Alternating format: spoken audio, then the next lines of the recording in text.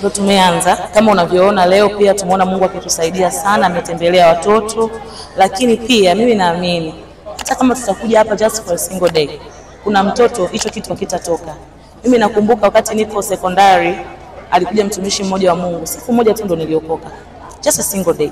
Kwa naamini the fact Mungu ametupa neema ya kukanyaga hapa St Mary's kuna watoto neema ya Mungu imeshawafikia, na ninaamini katika watoto hao watasambaza hiyo mbegu njema kwenye shule hii na kwa watoto wengine wengi kabisa. Lakini kuhusiana pia na mambo ya utandawazi na nini, ndio maana pia tunakuja kuifikia jamii, tunakuja kuambia kwamba wanaweza, tunakuja kuwa encourage kwa sababu pia kuna watoto wengine, ndio maana navyosema watoto ambao wako boarding school mara nyingi wanakuwa pia wako mbali na nyumbani, mbali na malezi pia ya wazazi. Walimu peke yao hawatoshi kuimba sisi watumishi wa Mungu peke yetu makanisani haitoshi.